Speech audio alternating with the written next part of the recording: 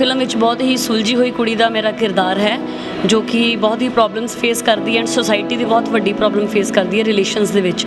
ਇੱਕ ਕੁੜੀ ਨੂੰ ਘਰ ਦੇ ਅੰਦਰ ਕਿੰਨੀ ਪ੍ਰੋਟੈਕਸ਼ਨ ਮਿਲਦੀ ਹੈ ਜਾਂ ਘਰ ਦੇ ਬਾਹਰ ਕਿੰਨੀ ਪ੍ਰੋਟੈਕਸ਼ਨ ਮਿਲਦੀ ਹੈ, ਇਸ ਮੁੱਦੇ ਦੇ ਉੱਪਰ ਮੇਨ ਸਾਡੀ ਫਿਲਮ ਹੈ, ਜੋ ਕਿ ਤੁਹਾਨੂੰ ਦੇਖਣ ਦੇ ਪਤਾ ਚੱਲੇਗਾ।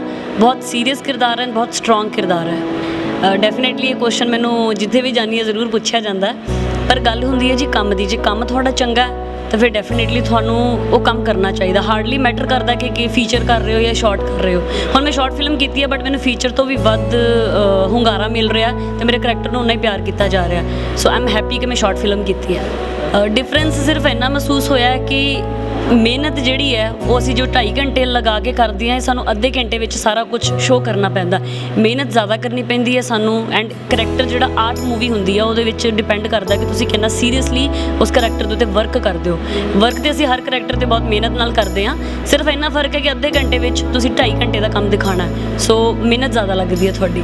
ਹਾਂ definitely and I think Navtej ਭਾਜੀ ਦੇ ਨਾਲ ਹੀ ਮੈਂ ਅੱਗੇ ਵੀ ਕੰਮ ਕਰਨਾ ਚਾਹਾਂਗੀ, ਕਿਉਂਕਿ ਮੈਨੂੰ ਬਹੁਤ ਹੋਰ ਵੀ ਲੋਕਾਂ ਨੇ ਜਦੋਂ ਸ਼ਾਰਟ ਫਿਲਮਸ ਬਾਰੇ ਪੁੱਛਿਆ, ਮੈਂ ਸਿਰਫ ਉਹਨਾਂ ਨੂੰ ਮੁੱਦਾ ਮੇਰਾ ਇਹੀ ਸੀਗਾ ਕਿ ਤੁਸੀਂ ਕਿਸ ਰੀਜ਼ਨ ਤੇ ਬਣਾ ਰਹੇ ਹੋ? Because business business point of View ਦੇ ਨਾਲ ਨਾ ਤਾਂ ਨਵਤੇਜ ਭਾਜੀ ਨੇ ਕਦੀ ਕੰਮ ਕੀਤਾ ਤੇ ਨਾ ਹੀ ਮੈਂ ਕਰਨਾ ਚਾਹੁੰਦੀ ਆ ਸੋ ਨਵਤੇਜ ਭਾਜੀ ਦੇ ਨਾਲ ਤਾਂ ਡੈਫੀਨੇਟਲੀ ਅੱਗੇ ਮੈਂ ਕਰਾਂਗੀ ਬਟ ਜੇ ਕੋਈ ਅੱਛਾ ਕਨਸੈਪਟ ਹੋਏਗਾ ਤੇ ਕੈਰੀ ਔਨ ਪੱਕਾ ਕਰੂੰਗੀ। ਮੈਂ ਇੱਕ ਆਰਟਿਸਟ ਹਾਂ ਪਰ ਮੈਂ ਕੰਮ ਸਿਰਫ ਉਹ, ਚਾਹੇ ਕਮਰਸ਼ੀਅਲ ਹੋਵੇ ਬਟ ਕਮਰਸ਼ੀਅਲ ਦੇ ਵਿੱਚ ਵੀ ਤੁਹਾਡਾ ਜੋ ਲੈਵਲ ਹੈ ਕੰਮ ਕਰਨ ਦਾ, ਉਹ ਮਾਇਨੇ ਰੱਖਣਾ ਚਾਹੀਦਾ ਮੈਂ ਇੱਕ ਡੋਲ ਵਾਂਗੂ ਐਕਟ ਨਹੀਂ ਕਰਨਾ ਚਾਹੁੰਦੀ। ਜੀ ਡੋਲ ਵਾਂਗੂ ਐਕਟ ਕਰਨਾ ਤੇ I can do many movies but ਕੰਮ ਕਰਨਾ ਹੈ ਤਾਂ ਕਿ ਲੋਕਾਂ ਨੂੰ ਪਤਾ ਲੱਗੇ ਜਸਪਿੰਦਰ ਚੀਮਾ ਆਈ ਹੈ।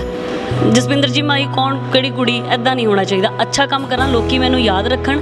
ਸੋ ਇਸ ਕਰਕੇ ਮੈਂ ਉਦਾਂ ਦਾ ਹੀ ਕੰਮ ਕਰਨਾ ਚਾਹੁੰਦੀ ਹਾਂ ਕਿ ਲੋਕੀ ਮੈਨੂੰ ਯਾਦ ਰੱਖਣ। ਚਾਹੇ ਕਮਰਸ਼ੀਅਲ ਹੋਵੇ, ਚਾਹੇ ਆਰਟ ਹੋਵੇ। ਕੰਮ ਦੀ ਡਿਊਟੀ ਦਾ ਜੋ ਟਾਈਟਲ ਹੈ ਇਹ ਲੋਕੀ ਸਭ ਤੋਂ ਪਹਿਲਾਂ ਕਨਫਿਊਜ਼ ਹੁੰਦੇ ਨੇ ਕਿ ਤੁਸੀਂ ਡਿਉੜੀ ਨੂੰ ਕੰਬਦੀ ਹੋਈ ਕਿੱਦਾਂ ਕਹਿੰਦੇ ਹੋ? ਕਿਉਂ? ਕਿਉਂਕਿ ਡਿਉੜੀ ਇੱਕ ਐਸੀ ਜਗ੍ਹਾ ਹੈ, ਇੱਕ ਦਹਲੀਜ਼ ਐਸੀ ਜਗ੍ਹਾ ਇੱਕ ਕੁੜੀ ਨੂੰ ਕਿਹਾ ਜਾਂਦਾ ਕਿ ਤੂੰ ਦਹਲੀਜ਼ ਦੇ ਅੰਦਰ ਸੁਰੱਖਿਅਤ ਹੈ। ਜਦੋਂ ਲਕਸ਼ਮਣ ਜੀ ਵੀ ਆਈ ਥਿੰਕ ਸੀਤਾ ਜੀ ਲਈ ਦਹਲੀਜ਼ ਕਰਕੇ ਗਏ ਸੀ, ਉਹ ਇੱਕ ਰੇਖਾ ਬਣਾ ਕੇ ਗਏ ਸੀਗੇ ਕਿ ਇਸ ਤੋਂ ਅੰਦਰ ਤੋਂ ਪ੍ਰੋਟੈਕਟਿਡ ਹੈ, ਇਸ ਤੋਂ ਬਾਹਰ ਤੋਂ ਪ੍ਰੋਟੈਕਟਿਡ ਨਹੀਂ ਹੋ ਸਕਦੇ, ਤੁਸੀਂ ਆਪਣਾ ਖਿਆਲ ਰੱਖੋ। ਸੋ ਸਾਡਾ ਮੇਨ ਆਹੀ ਮੁੱਦਾ ਕਿ ਕੀ ਕੁੜੀ ਘਰ ਦੇ ਅੰਦਰ ਸੇਫ ਹੈ ਜਾਂ ਘਰ ਦੇ ਬਾਹਰ ਸੇਫ ਹੈ? ਸੋ ਘਰ ਦੇ ਅੰਦਰ ਵੀ ਕੁੜੀ ਨੂੰ ਉਨਾ ਹੀ ਸੇਫਟੀ ਨਾਲ ਰਹਿਣਾ ਪਵੇਗਾ। ਸੋ ਇਹੀ ਮੁੱਦਾ ਜੀ ਮੇਨ ਸਾਡੀ ਫਿਲਮ ਦਾ।